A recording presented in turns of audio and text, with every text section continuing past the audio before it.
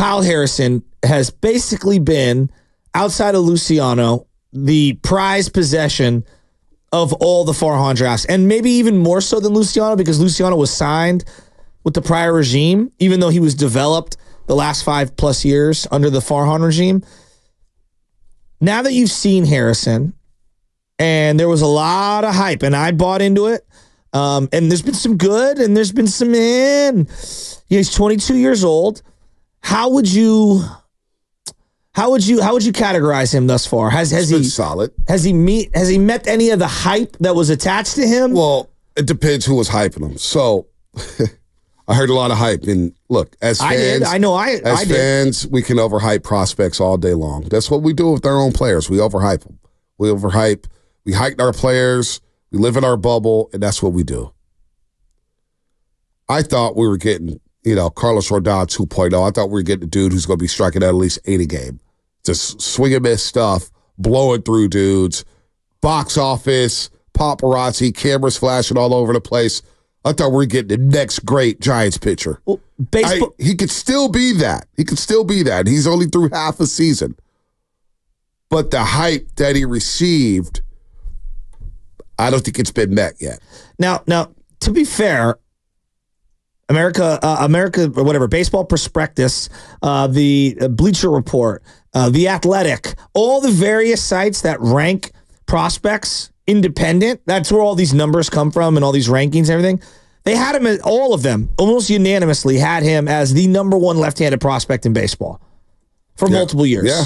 So it's not just because I not I, I, Giants I bought yeah. into the hype. I'm reading all about it, and there would you'd see videos of him striking out guys left and right, and you're like, wow, what's this going to look like at the bigs and everything. And um, I don't think it's fall flat at all. Is it like Paul Skenes level? Not even close. Paul Skenes, younger and number one overall pick, has like wow, like he feels box office to me, and we'll see if that's sustainable. But he feels well, like everything you're asking for that you thought that feels like Paul Skenes. Now, is that unfair of Harrison? Harrison was pretty highly touted, dude. Like pretty highly touted. And they've gone about it in completely different ways. One guy went to LSU and threw, I, I believe, 350 or 60 innings in in just three years at LSU. The other guy went the minor league route, and I don't think he even sniffed that that many innings. And one guy looks like a finished product or close to it, and the other guy looks like he's really a, a work in progress. Now that just may be a byproduct of having various stuff. One guy blows velo, the other guy's more of a finesse guy with the with the fastball. I don't know, man. Like, I think it's been a mixed bag with Harrison, is what I'm saying. Um, resiliency, I like it. I don't think there's been a mixed bag. It's just our expectations probably were too high considering he never went deep into games in AAA. Maybe we should have just lowered the bar, said, okay, it's going to be raw. It's not going to work deep in the games because of what happened in AAA in the innings he pitched last year. He's about to, he pitched 111 innings last year, 34 with the Giants, uh, 77 with the with the Double A and Triple A teams. So we're at 77 innings pitched right now. What's going to happen when he gets to 111, 120? Is he going to wear it out? Why wasn't he stretched out in the minors? Why wasn't he going deep in the games? Why was he only going three to four innings? I maybe maybe the expectations for him coming in this season said, hey, he didn't pitch deep into games in AAA, so don't expect him to do the same thing in the major leagues. So bullpen be on high alert whenever Kyle Harrison starts. But overall, I mean, he's having a solid rookie season. He's four No, three. he has been solid. 3.96 ERA. Uh, he's starting to get the ground balls, starting to pitch to contact, which I didn't expect. Um, I didn't expect him to pitch a contact. I thought he was going to be a flamethrower striking out from what all the reports said, uh, and from what everybody told me about the young man. But yesterday, 77 innings, 77 pitches, and back to back starts. Back to back starts where he's got at least six innings. All right. Now, last week in Arizona, it was a little herky jerky, right? You give up the eight hits, you give up three runs, but he didn't walk anybody. That's two straight starts. Hell, in his last three appearances, he's only walked one batter.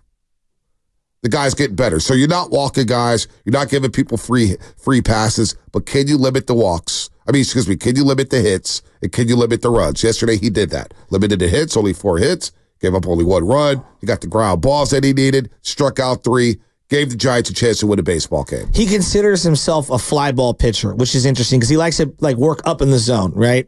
And yesterday he was asked by Evan Giddings in the post game about his vel- uh, velocity and how much he had left, and it sounded like he was leaving it all out there, meaning he was going to try to throw harder. Whereas in the handful of starts prior to that, it felt like he he admitted that he was trying to hold back a little so that he could preserve himself and go deeper into the game or whatever. And yesterday he was more efficient because he was attacking people. He went deeper into the game and he left it all out there. So I, I think that to me is more of the template that he needs to utilize moving forward.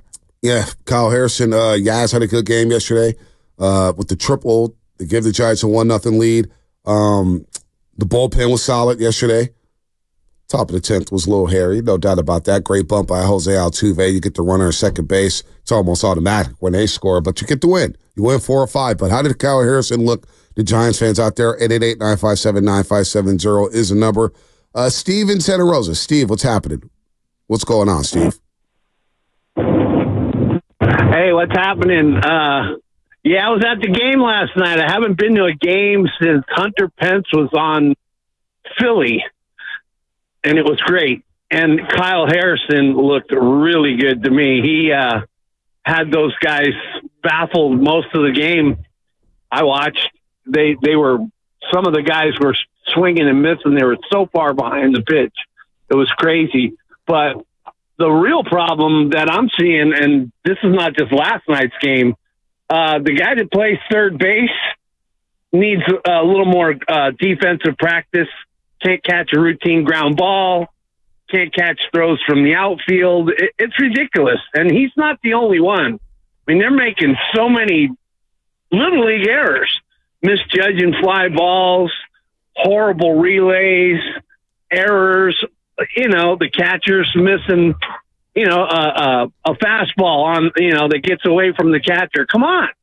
You can't win at a high level when you got a defense like that. So I think uh, we're all right with that pitcher, that's for sure in my book. And I think uh, a little more defense and practice is in order. I think that's a good point. So, like to start the game, Casey Schmitt boots one. Now you look at the box, you're like, well, Joe, they only had one error. Now they're one of the worst teams in terms of fielding and, and the amount of errors that they have. Shortstop. Okay, Brett Wisely made a couple of plays, but on the relay to to throw out Yordan Alvarez, who's not the fastest runner, but he was booking. You had him, and you threw an errant throw. Casey Schmitt can't dig it out. I think he was still going to be safe, but regardless, Schmitt's got to dig that out. But it, it's not the greatest throw from Brett Wisely. What about Thairo Estrada? Well, that's I'm getting to. I'm going. Everyone around the diamond made an error in my estimation. Bailey threw that guy out at second base. Estrada's got to catch that ball. Yeah. I mean, and I know the guy's bearing down on you. You're straddling the bag. You, you got to slap that tag on his face, and you got to get him out. And then Wilmer Flores, like at first base, you got to stretch a little on that play. I think they get out of that. So every guy on the infield made a boo boo yesterday. You got a guy Trenton Brooks playing first base. I don't know how much longer they can let him go out there. Well, you, may need to- you may need to trade for a first baseman. We've talked about that ad nauseum. But, you know, Lutman, but during the break, we were talking. He's like, you know, what about Kyle Harrison and long term prospects? And you know what? I'm, I'm, I'm kind of tired of talking trade right now because I don't know who's going to be buying. I don't know who's going to be selling because everybody's in a damn race because of the third wild card. It kind of ticks me off. Like, you just give it participation trophies, and I get it. You could go to the World Series as a wild card and maybe make a run for it, and let the Giants get in. Maybe you get Blake Snell rolling here, and I know that's a lot of people don't want to hear that, but you get Blake Snell and Logan Webb as your one-two. Maybe you could do some damage here. But right now, I'm just in wait and see mode with this team. I just want to see how it plays out. Who's a player? Is Ramos really a player? Is Slater and guys going to be around here? Is Matos going to be back up? Are we ever going to see Luciano again? Is Jorge Soler going to turn it around? Where's Michael Conforto at? Is he going to get hot? Pitching wise, what's going to happen to Hicks and Harrison if they get to say 120 innings? What do you do there? Did you taper off of them? Do you let them say, hey, just go ahead and pitch? We don't care if your arm falls off? Because these guys have never pitched. Uh, Kyle Harrison, his next two starts, if he goes at least five, he's going to eclipse his career high in innings pitched for a season. So where are we going to? That's why I'm, I'm just forget the trades for now. Forget Vlad Jr. Forget Pete Alonso. We all know we want those players. That's already baked in. You know that. We don't need to repeat ourselves. But I just want to see how it plays out here. When you got the Astros and Angels to finish up this homestand, you get the Cubs and the Cardinals next week on the road. Then you get the Cubs and the Dodgers back here at home going into July. Where's this team going to be at July 2nd going to Atlanta? Am I going to be able to find a player that could staple say, okay, I got a long term fixture here in the outfield?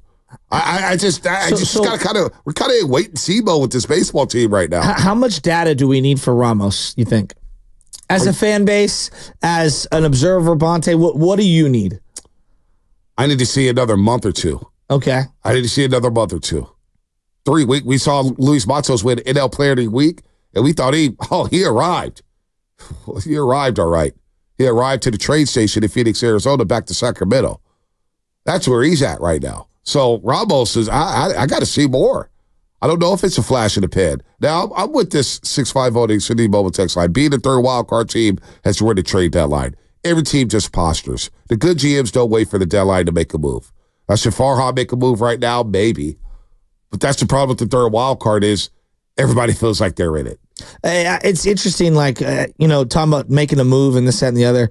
Like there was a point in time, and I know we were we were deprived of our own homegrown pitching at that time.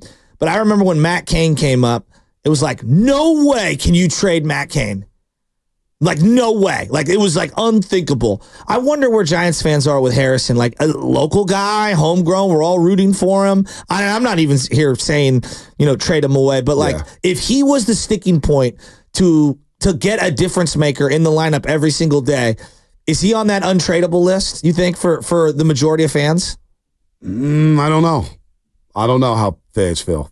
Do you remember that feeling about about Cain? I like when remember Cain came about up. Cain Lincecum because it's where the Giants were at. You also got to think about where they were at at the time.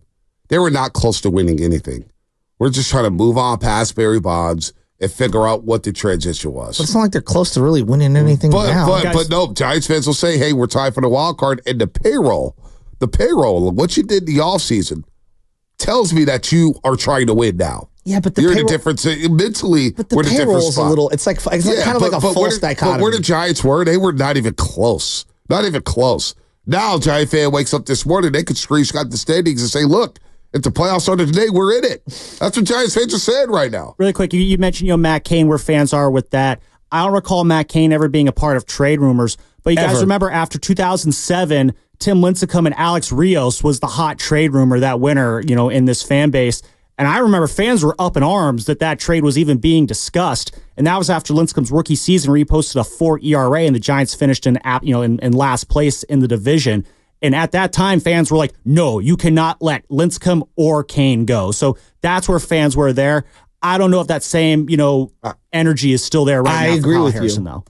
I don't think it is, and and I don't think it's a knock on Harrison. I think it's more. Uh, it's So it's Cain came up what 06, right? oh, 05 at the 05, end, and then at 06. 06, Yes. So 06, the Giants were 76 and 85. they went one and nine in the last 10 games. They're not a good baseball team. No, I mean they're, They're- they they're- about they're- what they are this year. Right. But I but the expectations for this year, I don't think there was expectations for the 06 team. I mean, but okay. what were the ex- What- what- expectations what for were the 06? real- like, but if they had multiple wild card spots, like they only had one back then. Right. If you had multiple ones, wouldn't the expectations have been lowered a little, and they would have been like, "Oh, just go for the wild Their card." expected they had no expectations though in 06, 05, from what I remember. I, I, I don't think there was any expectations. I think we were still clinging to, you know, maybe we can get in. We've got Barry, even I- though he was out for the majority I mean, of that that, I team- believe the 05 season. that team was awful. That team was awful. You get tickets for five dollars, like we were talking about yesterday. I think the expectations for this team. but for who, what- who thought they were a contender? Well, listen to the, what the owners is telling you. Well, the owner could say The whatever they mandatory. want. What is Farhan saying? yeah, but they, they Stakes are high, right? What is Fleming saying? Bare minimum is the playoffs. Their offseason actions told you they were trying to do something major. Yeah, but in 05, let's go let's go back to 05. Like, I believe that was the year you got Matt Morris and Mike Matheny. Like, those are veteran pieces you're trying to add to a team to, you know, make a playoff push. Like, I, I- I don't think they were that far off from where we are now. I really don't. I, I, I, I And I think it speaks more, uh, more was on. Cade even that season? Was Cade even expected to help the big league team? Well, we had heard all? about him as a high schooler You heard drafted, about him, yeah. and and he came up. I believe he was 20 years old, and it was again like very shaky that first year. But you could see like, wow, like he's got a little something here. He also was throwing like 97, and that was back then. Uh, he had a really live arm, and he was really young. He came up at 20. You know, it was it was different than pitched in seven games that season, 46 innings, Cain in 2005. They're 75 and 87. 75 and 87. Now, if I do the splits on that team, because I remember expectations, I don't think they were that high. We're like, boy, the Giants are cooked. I remember Sports Illustrated, matter of fact, when they used to come out with their baseball previews, had the Giants like finishing in fourth. it was bad. It was bad. I mean, people have the Giants finishing in fourth right now. P. Like, I mean, you know, Uh, this is this is one of the more loaded divisions, right? You got the Dodgers, the Padres, the Arizona Diamondbacks, who were good last Look year, at the and then the Giants. So, like, look, look at what the Giants did in two- 05. 12 and 11 in April, 11 and 16 in May, 10 and 17 in June, 12 and 15 in July. By that time, they're out of the race. They go 500 in August, 15 and 13 in September. They're not a good baseball team. They're, they're I mean, get it. I get it. Right now, they're 500. Right now, they're 500 for one game under 500. But with the way they spent and with the way they talked, the expectation is playoff or else. Playoffs or else. I mean, I don't know. I don't know. I, I just I, I I just don't think this team could ill afford. I think they could ill afford to miss the playoffs. I don't care if there's a third wild card, fourth wild card, fifth wild card. They've got to do something here. They've got to do something. but like, if you make the playoffs and what? Conforto opts out, Snell opts out, You hope that Chapman you, opts out. you you you, you You lose your draft picks for signing Snell and Chapman. Well- like, I don't understand how making the playoffs is some grandiose achievement that carries over into more success I, next year. I'm not. I'm not saying that at all, and I haven't said that all season long. Like I, I want to compete for something. I want to compete. To me, making the playoffs is not the end all be all. But with with the payroll that you have and the investments that you made into these players, whether it's Chapman, Soler, Snell, whatever it is, I do expect big things. I expect more than just a playoff run. I expect you to make